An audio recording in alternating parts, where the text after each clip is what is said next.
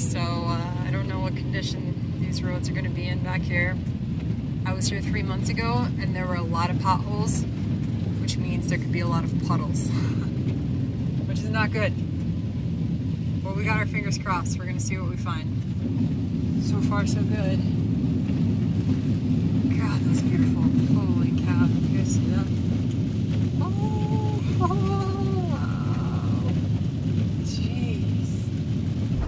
I'm so excited. Woo! Mountain living, baby. Ooh. Okay, we made it.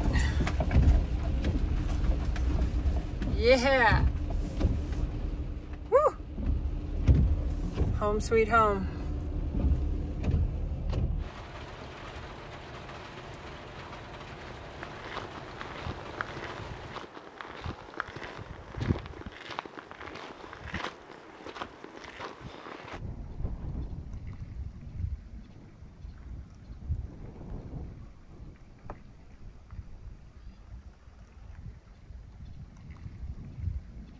We last left off in Southern California, where we finished up the van build.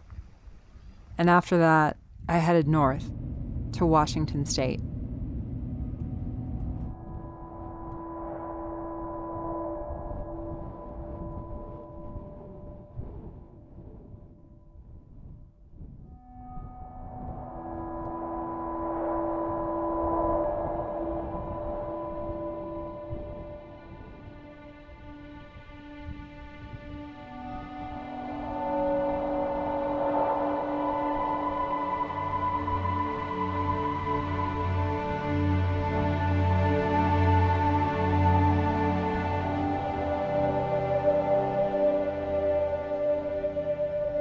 Washington is the last place I lived before moving on to the road.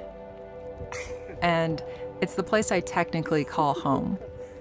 Even though I don't have an actual house or apartment or a place to stay, driving through the Cascades feels like driving up my own driveway. And I can't help but gravitate toward familiar trails and favorite places.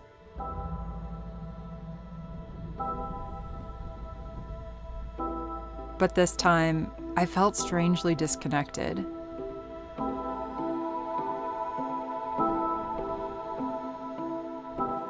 Like I was wandering down a hallway of old memories, rather than pushing myself to grow.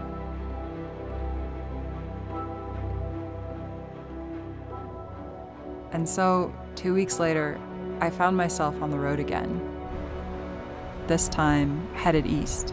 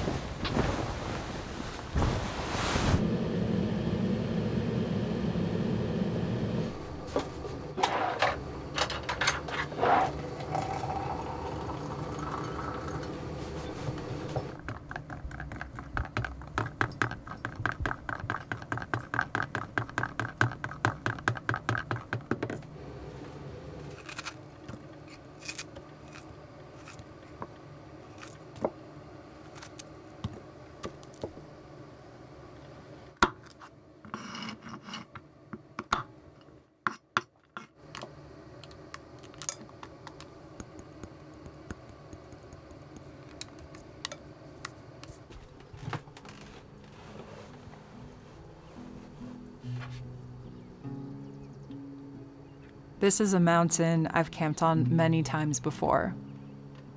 In fact, it's one of the places I camped in on my first mm. extended trip in my old SUV, before I moved onto the road and was still living in Monterey, California. I set out on a five week road trip through Utah, Wyoming, Montana, and Canada with nothing but the absolute basics. Every night, I rearranged the back of my Xterra into a sleeping zone with a blow up camping mattress wedged diagonally up against the driver's seat, my sleeping bag, and flannels and jackets hung across my windows, with the sleeves tied together to form a kind of curtain to block the morning light.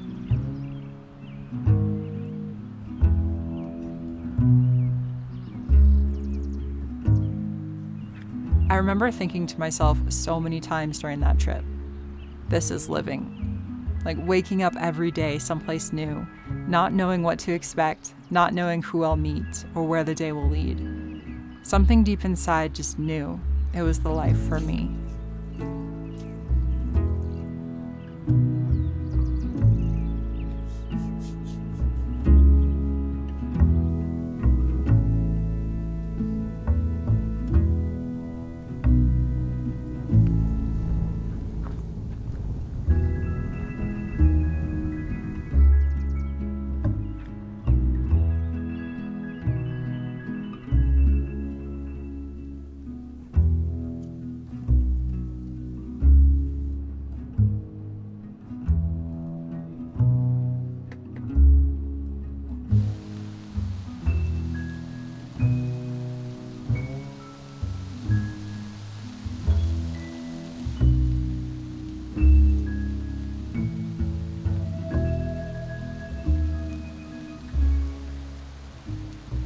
Being here reminded me of the days where I felt uncomfortable, unsure, and yet so excited. Like the time I jumped tandem out of an airplane. There was this moment where I had already let go of the door frame and hung helplessly from a chest strap 10,000 feet above the ground, just waiting for my instructor to let go. It was a moment of complete and total surrender. Not yet falling, but unable to turn back. I felt at the very edge of life, steeped in fear, but choosing to push through. I felt that here, on this mountain, during that first road trip. I felt it when I left my hometown in the Midwest to live in Hawaii, with almost nothing to my name, before I moved overseas to Italy, and again before I moved onto the road.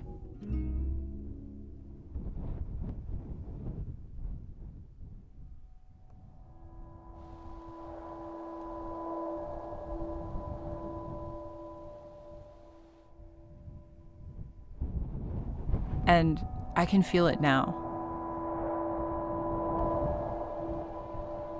The seasons are changing, and so am I.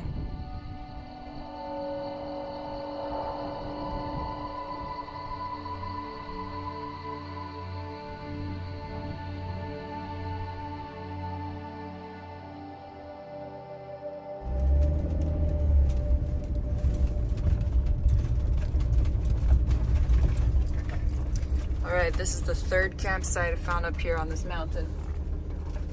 It's the best one so far. Go ahead and save the spot. Woo!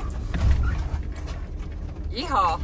I'm gonna try to back in over here and wait for those people down there to leave.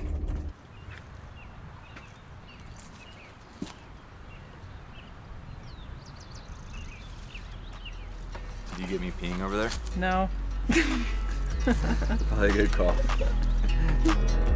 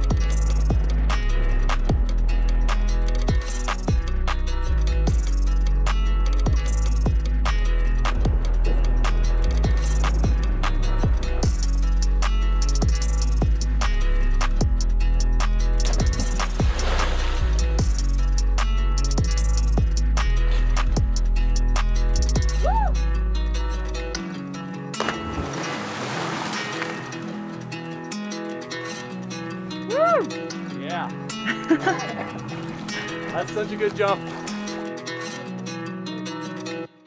Oh wait, this kind of counts as a shower, doesn't it? Whew.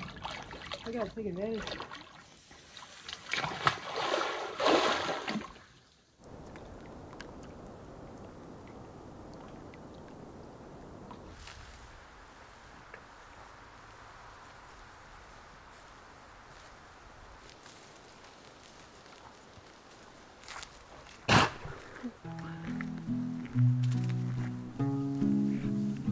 If I could tell 28 year old me that one day she'd be back in the same place, but with an entirely different life and so many new and wild possibilities, I wonder if she would believe me. And if future me could tell current me what life would be like 10 years from now, would I even want to know? Would you want to know? Honestly, I don't think I would. Living on the road and also just life in general has taught me that there's so much beauty in simply not knowing.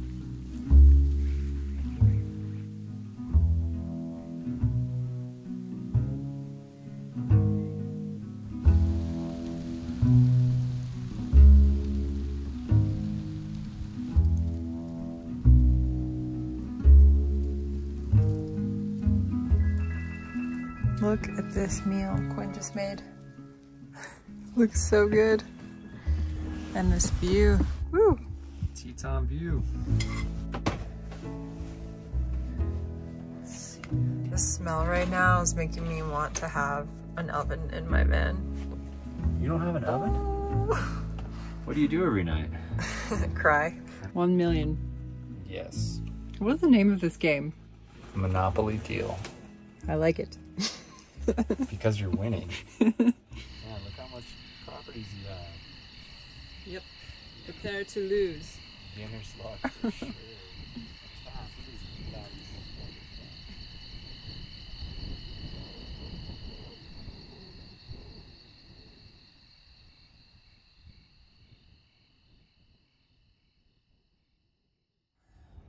Last night, a mouse got into the van at three in the morning and got it out.